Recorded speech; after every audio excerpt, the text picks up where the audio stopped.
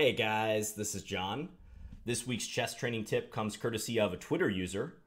So Dennis on Twitter asks, Hey John, in a position like this, is g4, knight takes g4, h takes g4, bishop takes g4 enough compensation? Does it expose the white king side?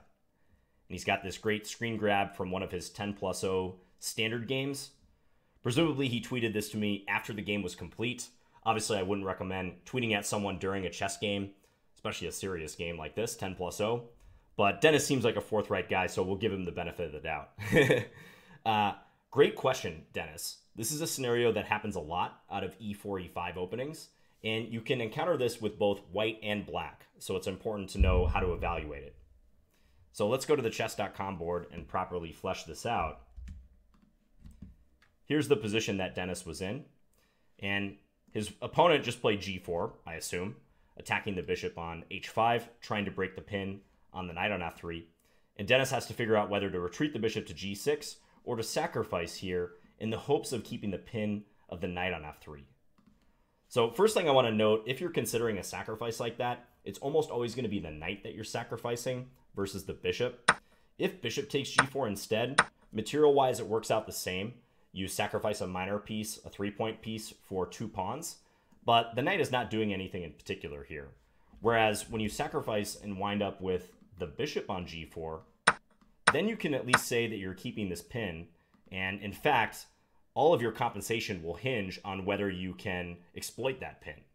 And that's how you evaluate whether this sacrifice is worth it or not. Can you come down hard on that pin piece, increase the pressure, and make it very difficult for your opponent to defend? And here, unfortunately, the answer is no. I don't think this sacrifice is sound. I don't think you'll find any strong player who would make this sacrifice in this exact position. The reason is it's just too easy for white to deal with the pin. In this position, there's at least two ways I see that white can easily negotiate it. One is bishop e2, which puts uh, a piece in between the white queen on d1 and the white knight on f3, so the pin is broken. Note that if black gets another move, they would like to play knight to d4, trying to attack the knight on f3 twice. So bishop e2 just ensures that if knight d4 is played, white can take, uh, not having to worry about losing their queen. So bishop e2 is one easy way to do that. Also, I think knight e3 is a good response. That would attack the bishop on g4. Black is not interested in trading on f3. You don't usually sacrifice in order to just make equal trades thereafter. So bishop takes f3, queen takes f3 would be a-okay by white.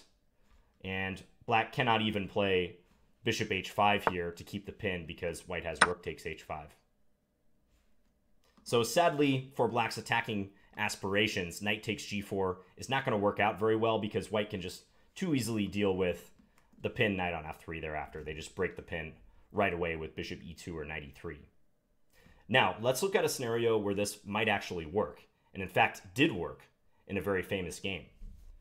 So we are going to look at a game Salwe versus Chigorin from Kiev, 1903. This is an old school game. Chigorin was a great attacking player, had some famous battles with Steinitz. His games are always fun to review. And he was black here in this game. I'm going to go through the opening kind of fast. It was an e4, e5 game. Two knights defense. Nothing too crazy yet. Here, Chigorin pins the knight on f3. He beats his opponent to the punch. Note that white has not played bishop g5 yet. White plays bishop b5, black castles.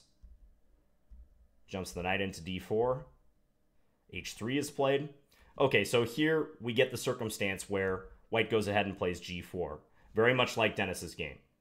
And you could imagine Chigorin in 1903 sitting there contemplating whether to make this sacrifice or not. Knight takes g4.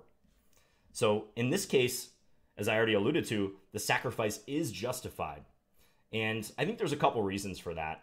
Uh, one, so after, oh, okay, sorry, he played bishop takes c3 first. I got, forgot to include that little detail. Note that if white were to take this bishop on h5, then bishop takes b2 could be played. Black comes out at least a pawn ahead. So they inserted these moves. So I think there's a couple reasons why this is good here. So one, note that white cannot easily put their bishop on e2 to break the pin.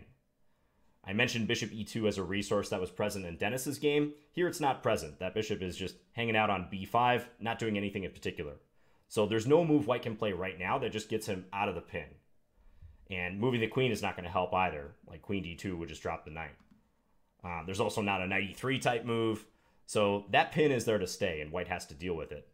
And the second big factor is black has a very effective way to increase the pressure on the knight. And this is a bit hidden, but it's a good resource to remember if you get, ever get into similar situations. Chigorin's idea is to push the f pawn and try to get his rook on f8 involved in the attack on f3. So if he gets another move, he's not going to play something like queen f6, which would attack the knight but allow white to bring their king up and defend. He's going for f5.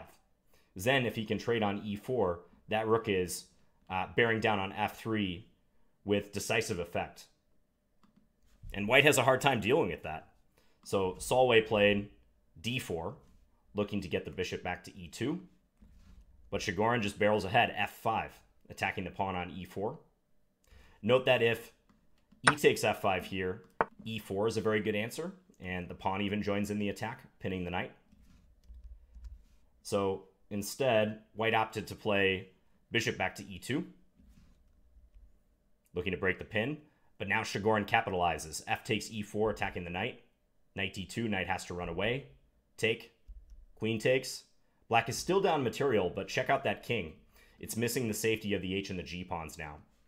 And Chigorin was very quick to punish white for the absence of those pawns. So queen g5 check, king h1, and rook f4, setting up this column checkmate, hallway mate, if you will, with the queen and the rook on the g and the h files.